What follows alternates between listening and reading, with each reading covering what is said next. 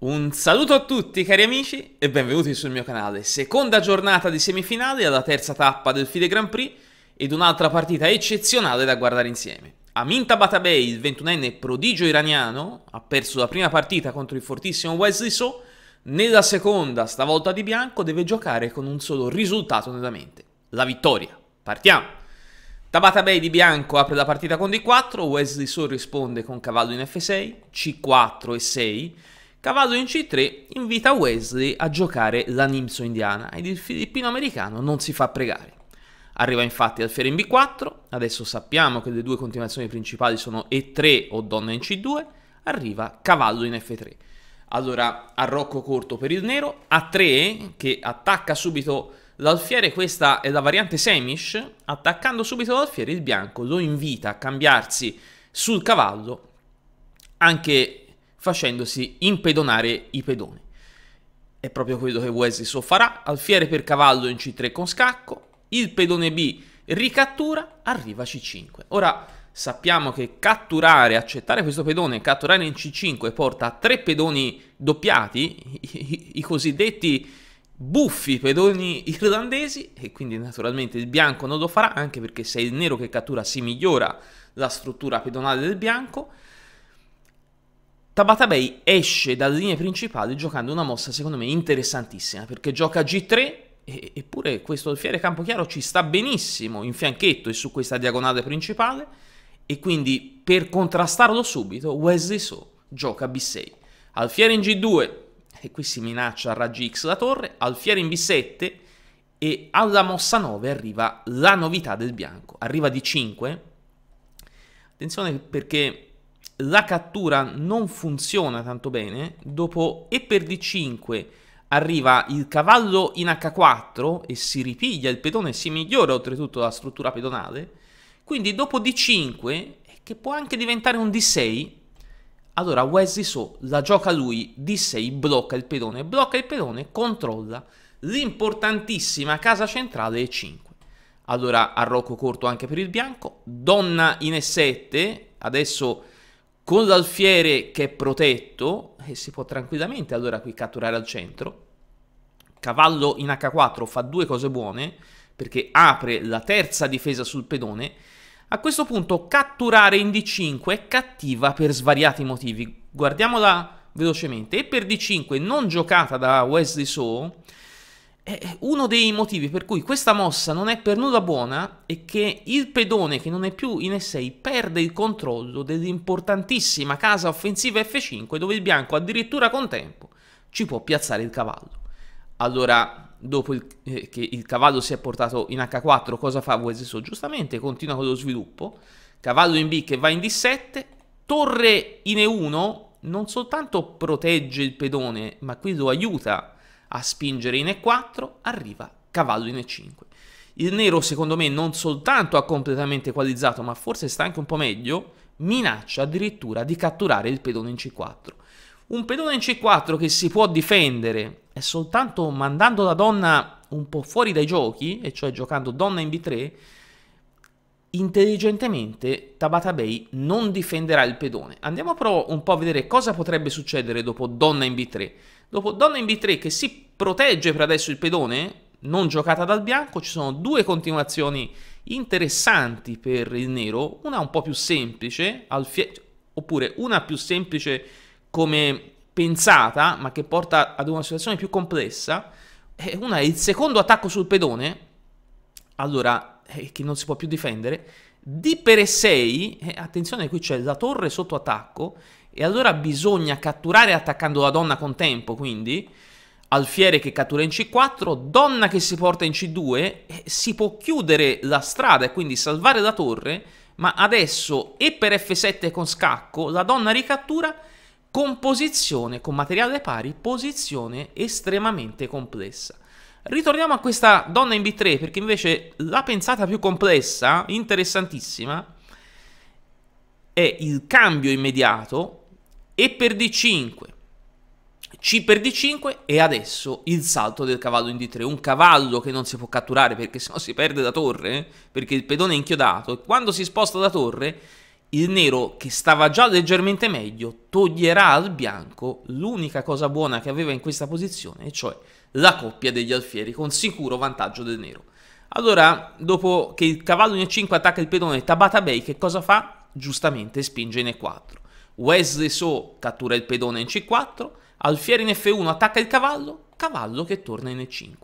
Arriva anche C4, quindi guardate che morsa su questa casa in D5, il cavallo si porta indietro in G6 perché adesso Wesley So vorrebbe semplificare e ora qui naturalmente farsi catturare e aprire dal rocco e, e, sarebbe assurdo quindi o è il bianco a catturare o si deve spostare il bianco ha tutto l'interesse a mantenere la posizione complessa Tabata Bay riporta il cavallo in G2 ora torre in E8 sicuramente buona B5 giocata da Wesley So anche se il pedone è in presa in qualche modo sicuramente.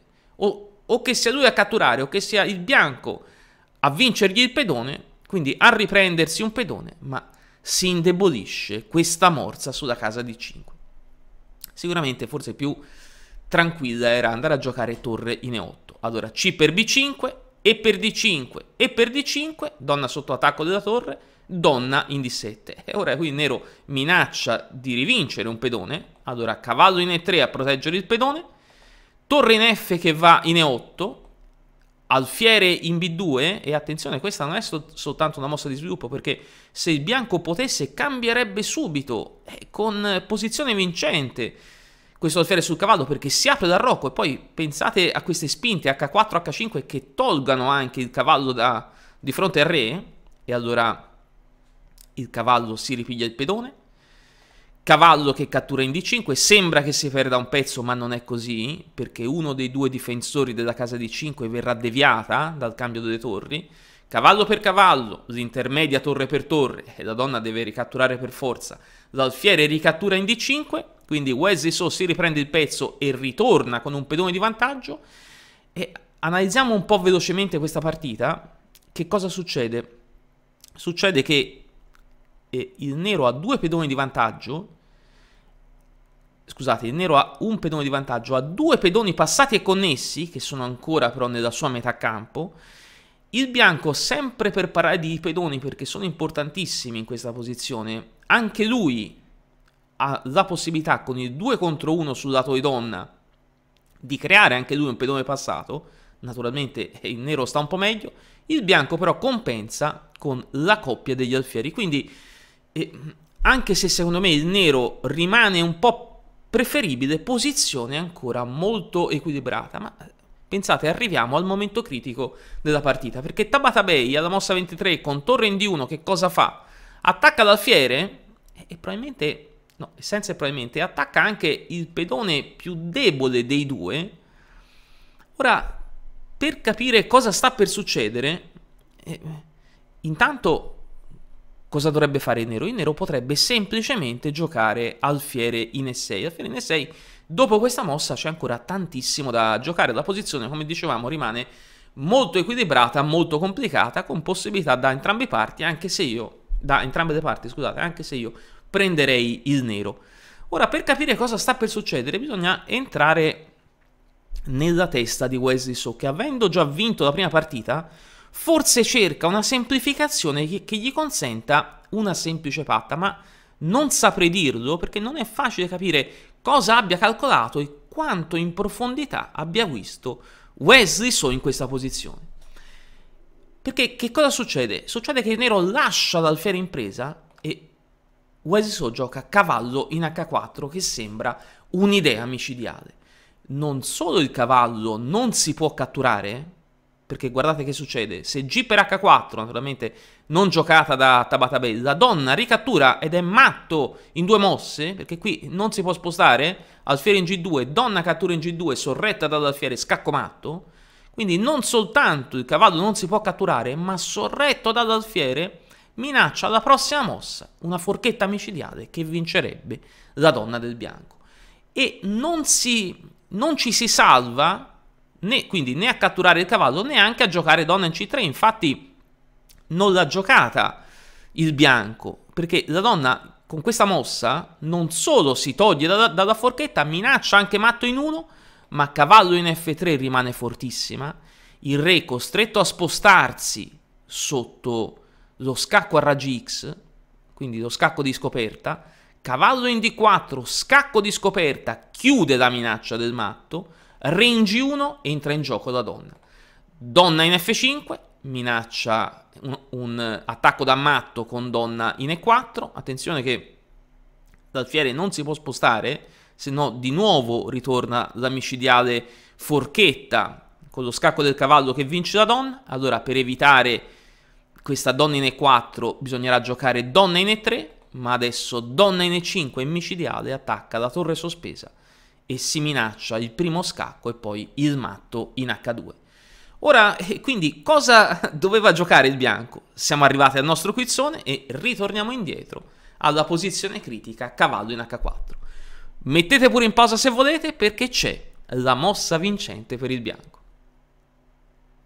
Ritorniamo subito alla nostra partita. Tabata Bay gioca torre in D3, mantiene l'attacco su questo alfiere, ma naturalmente la torre deve proteggere dallo scacco del cavallo. Qui si minaccia veramente adesso di catturare, perché guardate che succede, se l'alfiere tornasse indietro in B7, non giocata naturalmente da Wesley So, allora il nero perde un pezzo, che donna in G4 con scacco non è più scacco matto in 2, ma la torre si interpone e oltretutto darà una botta micidiale in G7. Ritorniamo a noi e quindi eh, qui alla fine, dopo torre in D3, sono rimasti al nero due pezzi sotto attacco, se ne può spostare solo uno. Non funziona neanche cavallo in F3 con scacco, perché c'è torre per cavallo, l'alfiere per la torre, donna in C3 minaccia matto e quindi in qualche modo per parare la minaccia di matto il bianco vince due pezzi per la torre e quindi vince la partita e allora Wesley So trova l'unico modo possibile per non perdere materiale ed è donna in G4. Donna in G4 non permette la cattura del cavallo perché inchioda il pedone sul re, non, no, non si poteva già prima catturare l'alfiere perché c'è lo scacco di cavallo in F3 che vince la donna e quindi Tabata Bay sposta la donna in C3. Sposta la donna in C3 e ora veramente si minaccia di catturare l'alfiere. Allora l'alfiere si porta in E4, attacca la torre, ma il bianco fa una minaccia ancora più grossa, attacca la donna, la donna non si può spostare dalla colonna G se no si perde il cavallo, donna in G5, i pezzi sono salvi perché il cavallo è salvo, ora bisogna salvare, anzi scusate, eh, il cavallo è salvo, l'alfiere si si è già salvato, il problema qual è? Che non si è salvato il pedone, perché arriva torre che cattura in D6, quindi casca uno dei due pedoni che erano la forza del nero in questa posizione, i due pedoni passati e diventa naturalmente debolissimo anche il secondo. Attenzione perché adesso non solo F4 che attacca la donna, la donna non può più rimanere e sulla colonna G si perde pure il cavallo, allora il cavallo si deve spostare. Allora Wesley solo sposta in F5 e attacca la torre, donna in E5 inchioda il cavallo sulla donna, donna in E7 minaccia la torre una seconda volta, ma qui arriva il cambio delle donne, donna per donna, il cavallo ricattura in E7, A4 e pensate alla mossa 30, Wesley So a parità di materiale abbandona. Incredibile? eppure il giudizio dell'americano è corretto perché per il computer è quasi più 5, quasi come se il bianco avesse due pezzi di vantaggio, quasi due pezzi di vantaggio, giochiamo noi qualche mossa per capire come mai il nero in questo finale è senza speranza. Allora, torre in E8, mossa migliore, che oltretutto guarda a raggi X all'alfiere in E2, un alfiere che si sposterà in C4 inchiodando il pedone, alfiere in F5 lascia la colonna da torre, arriva a 5. E questo il terribile problema del nero, che mentre qui c'è un pedone sì passato ma bloccato e debolissimo, il 2 contro 1 sta per produrre un pedone passato avanzato sul lato di donna, H5, F3 per far arrivare il re, cavallo in G2, qui si minaccia di, eh, di vincere un po' di materiale, ma nemmeno, qui si minaccia qualcosa, ma tanto il re avanzerà in F2, torre in C8 a proteggere il pedone, arriva B6 e qui per forza si crea il passato, A per B6, A per B6 sta per arrivare B7. Allora torre in B8 ma alfiere in A6 porterà il pedone in B7. Tra le varie continuazioni senza speranza c'è alfiere in C8, quindi si arriverà al cambio degli alfieri. Alfiere per alfiere in C8, a torre ricattura, il pedone arriva in B7. Torre in B8, pedone sotto attacco, torre in settima. Cavallo in F8 attacca la torre, ma basta che la torre si sposti in C7. Non si può attaccare di nuovo la torre, perché arriverebbe lo scacco protetto, e quindi si vince la partita all'istante. Allora G6 per far spostare il re. Alfiere in E5 è la mossa decisiva, perché non c'è niente che possa fermare torre in E7 con un attaccante che attacca la casa di promozione, quindi sicuramente il nero dovrà perdere la torre sul pedone. Quindi la contromossa di Tabata Bay mette in luce l'errore di valutazione di Wesley So e il giovane iraniano pareggia i conti. Entrambe le semifinali, perché anche quella di Nakamura, si decideranno oggi pomeriggio agli spareggi. Non dimenticate di like al video, non dimenticate di iscrivervi al canale e noi naturalmente ci vediamo domani con un nuovo video. A presto!